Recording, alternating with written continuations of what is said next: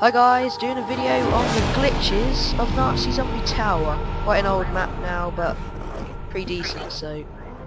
Starters, this barrier does not need to be opened. By the way, This- guys, I'm talking to me.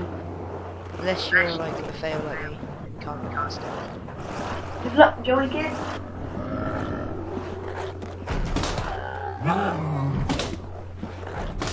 Jump on the barrier. Yep, I've done the first one, so you just jump past it. This one you can jump over. And this one, you can jump over, I can't remember.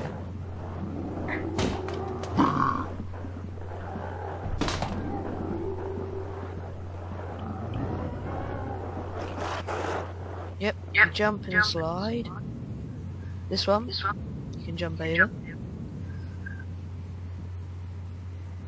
This one, you can jump over. And this one you can jump over. And then you just get to the top pretty simply.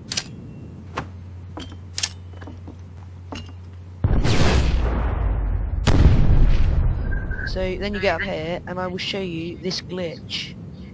Now basically, this guy hasn't put all that much effort into actually stopping the invisible barriers. So as you can see, you can quite simply do this. And yeah, so that's what happens. Peace out guys, I hope you enjoyed the video.